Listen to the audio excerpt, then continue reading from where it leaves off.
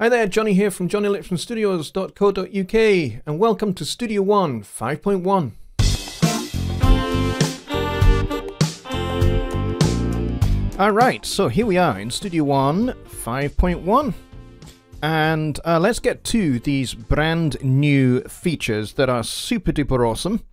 So the first thing we're going to look at is we're going to look at the new score uh, editor options. So the score printing and the new layout options. So to access those, the first thing you need to do is you need to select an event. So let's double click this event here. And this opens up the editor and there's all of these extra options as well. So you can view the track, you can view the symbols, and you can also uh, change your layout options and your page layout, the paper size and all of that. You can show tempo changes. You can um, you can change this layout style. You can have it as pages. And so you have your title and the composer there, which is cool, and the tempo marking. And this is essentially, this is the electric piano part, which is just the right hand. Uh, and this piece is not finished yet by any stretch of the imagination. It's just a little um, eight bar loop right now. Uh, so yeah, and you can you can view it as just a single track as well. Uh, so let's say our electric piano player is only playing the first eight bars, and then for the rest of the tune, they are resting for 75 bars. Uh, and this is a, what you would call a part. So if you uh, have like a tenor sax part, or a trumpet part, or some other part, or a violin part as part of a symphonic work, um, then you kind of have rests where um, they need to be, which is very, very cool. You can um, check these buttons out up here for the different views. So this is kind of the continuous view that everyone is familiar with. And then um, that's the page view. And as you can see there, you can scroll across to your second page, which is very cool. And then your uh, single track. So this is your part. And then, of course, you've got this wonderful print button here. And when you click this, it just brings up a print dialog and you choose your printer and then you hit print and away you go. Job done. It's as easy easy as that. So if you're printing out a, a part for a performer who is in your studio ready to go and they would rather not look at the screen or they can't look at the screen because of where the mic is placed in your studio, then this is a great little option for you. Uh, you can just print out the part for them. Dead easy. All right, so that's pretty much that feature. So we'll close the editor there. Uh, the next one we're going to look at is the retrospective recording because this is exceedingly cool. I actually love this and spent a lot of time mucking about with this. So let's uh, pull up a new song. So we'll go to this one over here that I've already prepared. And I've got uh, a Presence piano set up here. And you can see here, this retrospective recording um, button here. And as you can see, it is automatically red, ready to record. And there are a couple of ways in which you can, uh, once you've actually finished doodling, you can you can recall it and it will appear as an event, as you'll see in just a second. So you can either press this button or you can press Shift and number pad star. Uh, that's what it's assigned to at the moment. You can obviously change that assignment if you wish. Um, but I'm just going to press this button for now. All right, so I'm going to play something over on my on my uh, keyboard, and uh, then I will press this button and show you just how cool this really is. Check this out.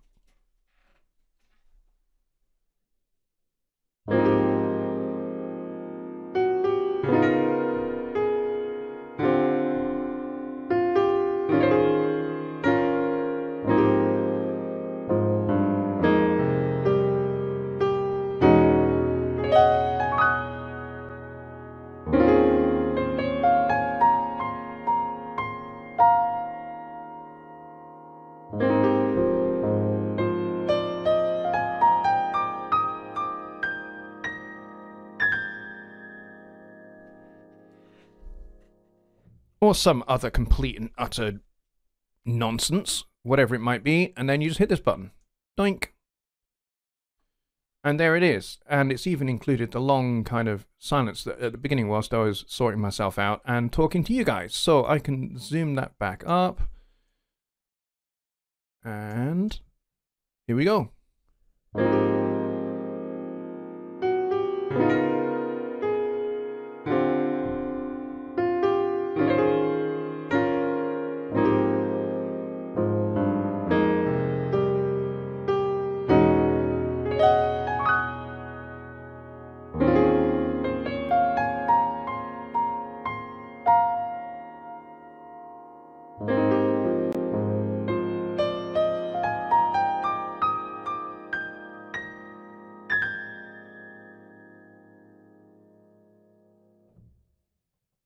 And the cool thing about that retrospective recording feature is that it's kind of running in the background uh, from the time that you kind of initiate the song.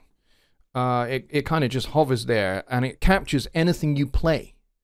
Uh, and then you can just literally just go and kind of edit it uh, down like I just did there. So that is very, very cool. That's retrospective recording. Very, very handy. All right, so the next one that we're going to look at is the uh, track channel search filter options.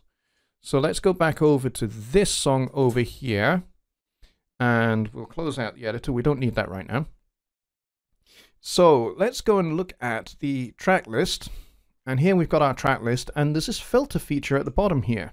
So let's say I only want to see the trumpet parts or trumpet tracks. So I just type in here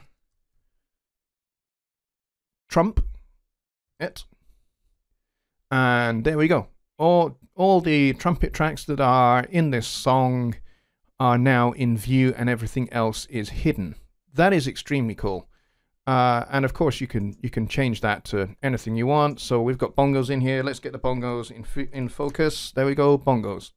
Bam, there you go. Bongos are in focus. Uh, and so that's really cool from the um, event view perspective. But what about from the mixer? Let's get the, the mixer console open. And I'm going to close that for right now and come on to that in just a second. So let's say I only want to see, um, let's see the Rhodes. So we go R-H-O-D-E-S, and there it is. The Rhodes channel is the only one that is now in view.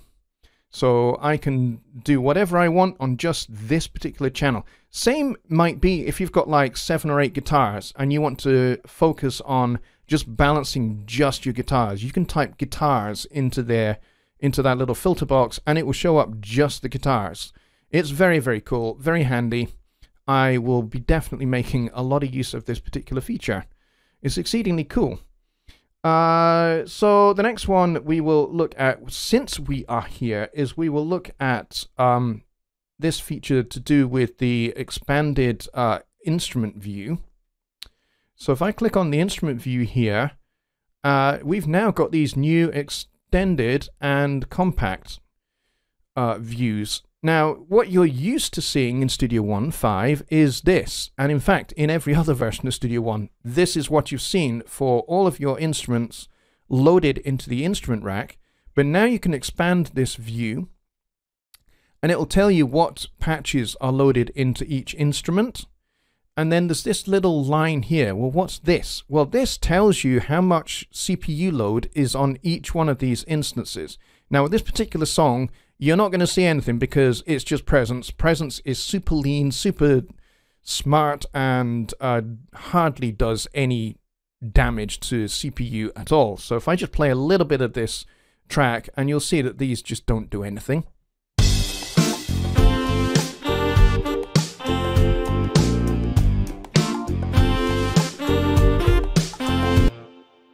But if I was to be using uh, more CPU hungry instruments, um, and there are many and various of them out there, uh, then you would see uh, these uh, peaking a little bit, and it would show you, hey, there's there's a little bit of CPU activity going on on those instruments, which is a handy little view. So that's pretty cool.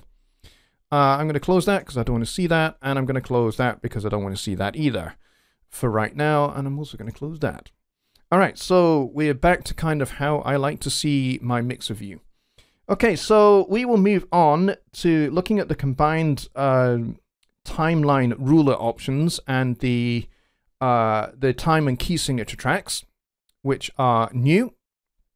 So let's get the console out of the way. So we're used to being able to see the arranger view, and we're used to being able to see um, just the bars and beats, but now with this funky little box here, all of the rulers, because you used to have like the chord track, the arranger track, and all of that kind of in a line over here. Well, to save space, they've all been collapsed into this one box here. So you just click on this box and then you check off what you want to see. So if you want to see the tempo track, for example, you can have the tempo track open. Uh, or if you want to see uh, if you want to not see the extended ruler, you can close that.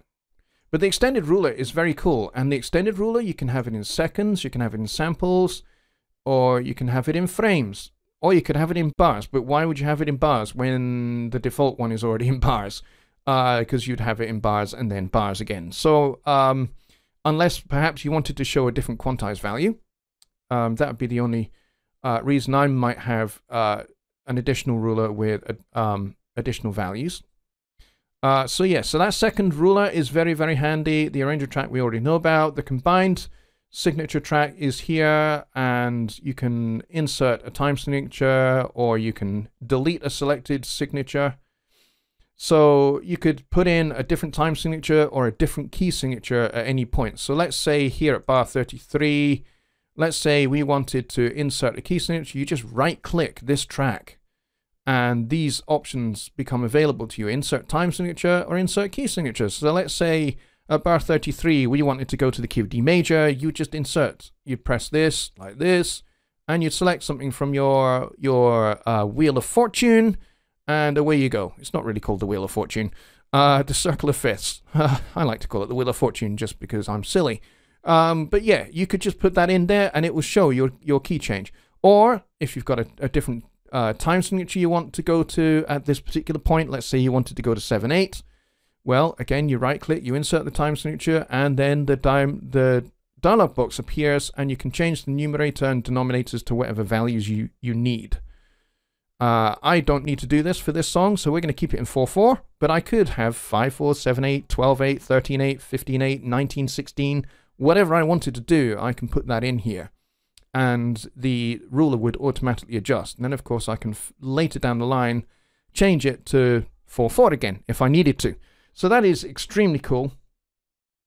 Uh, what are we going to look at next? We are going to look at the global tracks uh, ed, um, view in the editor. Now, this is very handy. If I go back to the editor view, uh, except I don't have a track selected. So here we go. Now we've got the Rhodes selected. So these are for reference only. You cannot actually edit these you cannot put in like time signature changes or key signature changes uh, in the editor view um, because the time signature and all of those they are global to the whole song not just on a per track basis they are global so you have to change those up here because this is where the global um, uh, signature and all of that are uh, so these are for reference only so you've got the arranger track down here for reference only you can't change any of this Okay, so that is a pretty cool little addition to the editor. I like that. Uh, Ampire and Pedalboard. Let's have a look at Ampire and Pedalboard. So for this, we will go over to our uh, our new song over here. And we will go to Effects. And we will go and grab Ampire. Let's just pull this down to save ourselves a little bit of time. We'll whack that in there. And then we'll also go down to pedalboard, elemental P, pedalboard, where art thou? Pedalboard is here as well. We'll drag that in and we'll set up a pedalboard. Let's say we go for uh, phase EP. There we go. Perfect. Now, this is cool. I can pin this over here. Then I can go over to this guy over here. We'll get the console open and we will collapse that, but we'll also edit it. So we've got this open, and they kind of don't quite fit on my screen, but that's okay, um, because really, in this in this view, we only want the the uh, stomp box area open. Let's say on this guitar track, I like the phaser that I've got set up over here. Well, here's the cool thing: I can drag it, and I can drop it right there. Or I like the Tube Dreamer on this channel, so I want it over here. I can drag and drop it. It's great. I can swap these stomp boxes around as I like. Uh, that is a very powerful little feature. So let's close those out.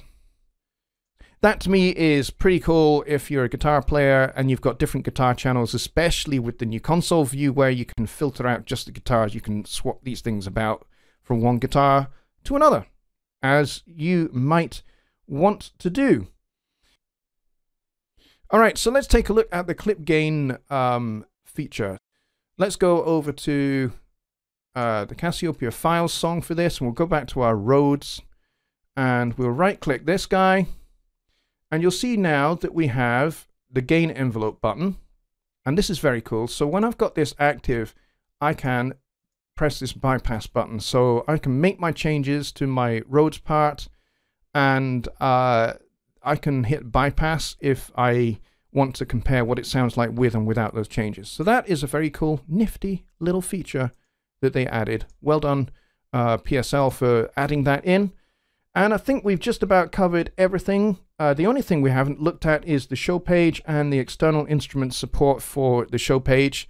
Um, I will cover that in an, an additional video because uh, I need to show you um, in a little bit more detail how to set that up.